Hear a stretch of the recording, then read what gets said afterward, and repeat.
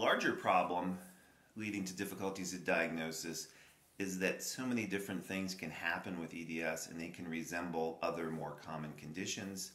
And if you're a specialist in one condition, you're going to tend to focus on what you specialize in and focus on some set of symptoms and maybe underappreciate other symptoms. So this brings us to a different animal. So instead of the zebra, the elephant. And this is from an old parable talking about several blind men who were trying to determine what an elephant was like, and it was just based on touching it.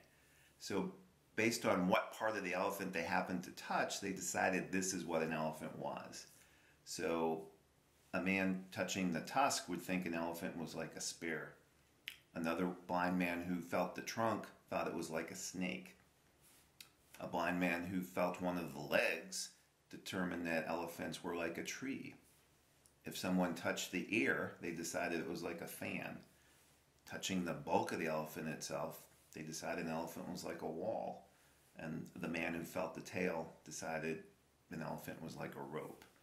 So if we substitute these literal structures of the elephant and talk about some of the features of EDS, you could see that, again, based on the symptoms that someone focuses on or what their specialty is, they may decide the patient has one thing and not see the larger picture.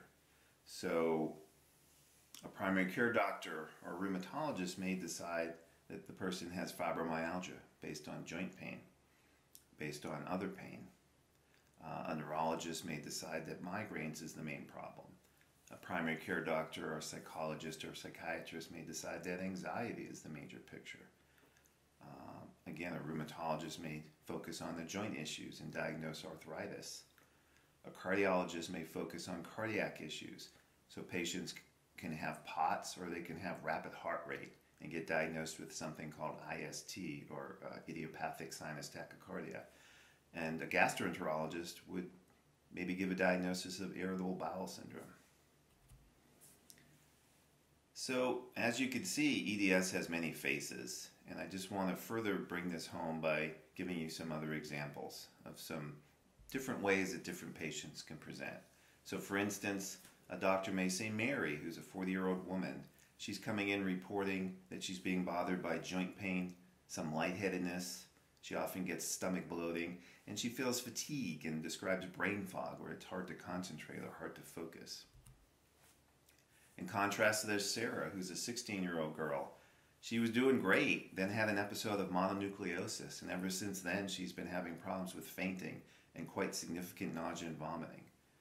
She's always been double jointed, but it doesn't pose any problems for her. Then there's Robert, a 50 year old man. For the last several years, he's been bothered by migraines, problems with TMJ or temporomandibular joint dysfunction, so his jaw clicks and he gets soreness in the jaw when he eats things that are chewy. He does not have any lightheadedness, but notes that often he feels palpitations, feels that his heart is beating harder or there's extra heartbeats. And uh, in fact, he's been diagnosed with uh, mitral valve regurgitation, so some leakage due to stretchiness of his, uh, some of his heart valves. And lastly, there's Carol, a 20 year old woman she has very severe allergies. She reacts to a lot of things. She gets rashes from this. She has asthma and she gets hives. And those are really the only symptoms that are bothering her.